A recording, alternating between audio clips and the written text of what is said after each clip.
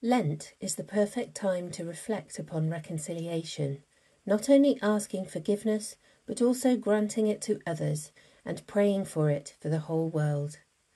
By receiving the sacrament of reconciliation and by reflecting on reconciliation throughout the weeks of Lent, we can prepare to come before God with a pure heart.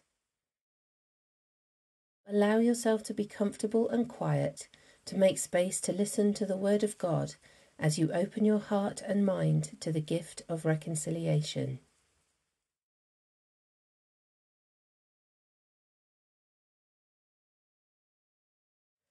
A reading from the second letter to the Corinthians, chapter 5, verses 17 to 20.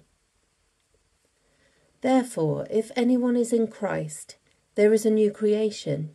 The old has gone, the new has come. All this is from God, who reconciled us to himself through Christ and gave us the ministry of reconciliation, that God was reconciling the world to himself in Christ, not counting people's sins against them. And he has committed to us the message of reconciliation. We are therefore Christ's ambassadors, as though God were making his appeal through us.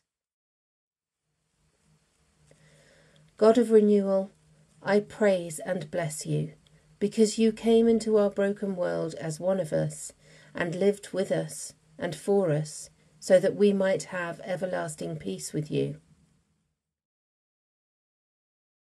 Lord, make me an instrument of reconciliation, so that I may make it my mission to help heal the rifts and wounds the world suffers and build it afresh on a foundation of communion and fraternity.